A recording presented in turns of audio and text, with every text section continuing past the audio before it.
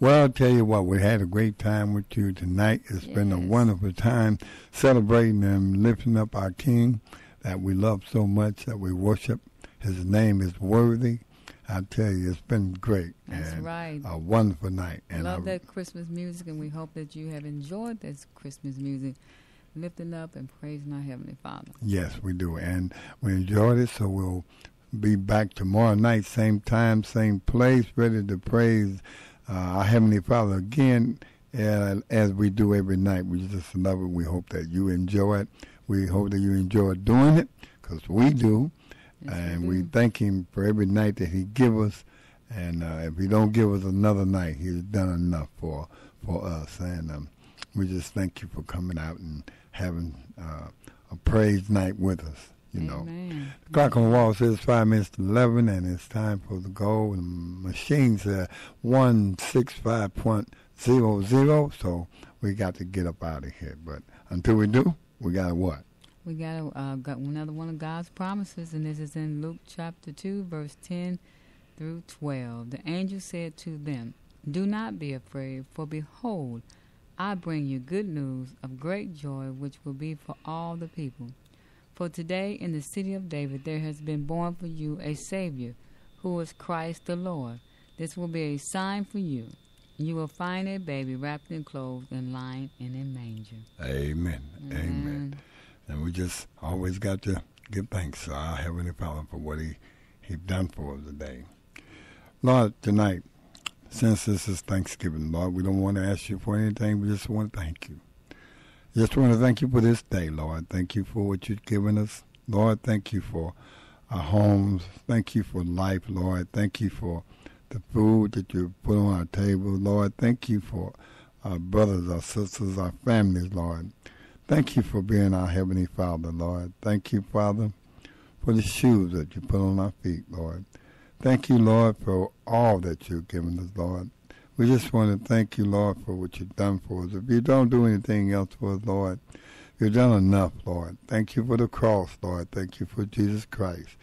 Lord, we just want to thank you for everything. We can't thank you enough, Lord. You have done so much for us. We just want to thank you, Lord. We can't thank you enough.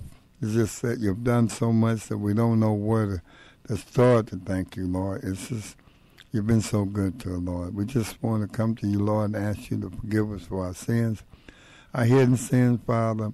Anything that we've done or said in this day, Lord, that have embarrassed you, haven't lifted your name up, or in in the right way, Lord. Whatever it may we have done, Lord, we ask you to forgive us, Lord.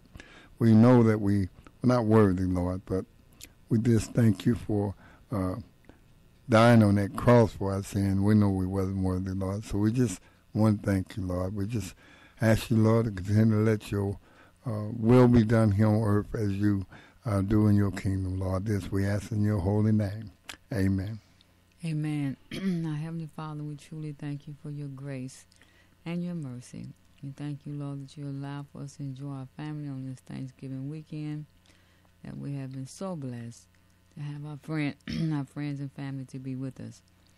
Again, Lord, we ask you to forgive us of our sins. Forgive us, Lord, if we've been selfish or prideful or backbiting or even our idle spoken words that we speak to one another that we know is unpleasing in your sight.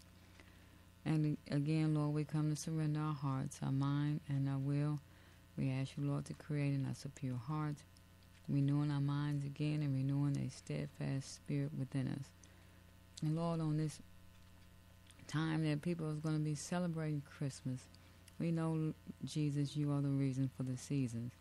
So help us during this time to show love, to give a word of encouragement, to come together as family, as friends, and strengthen one another during this time, and that we may not just consider buying gifts, but gifts that will last a lifetime, which gifts of love.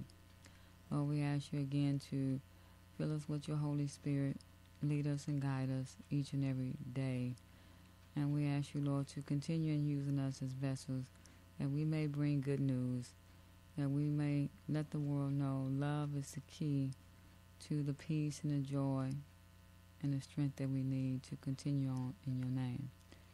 Lord, we give you all the praise and the honor and the glory, and we just continue to pray for our family. Pray for those that are preparing to travel tomorrow, and we ask for traveling mercies for each and every one of them. We thank you, Lord, for your peace, your joy, your strength, your love, and your protection. And we thank you, Lord, for your Sabbath you have given us, that we may worship you in spirit and in truth. In Jesus' precious name we pray. Amen. Amen. And may the Lord bless you and take care of you. Have a great night. We'll see you tomorrow night. Have a good night. And may the windows of heaven open and pour upon you a bundle of blessings and have a good night.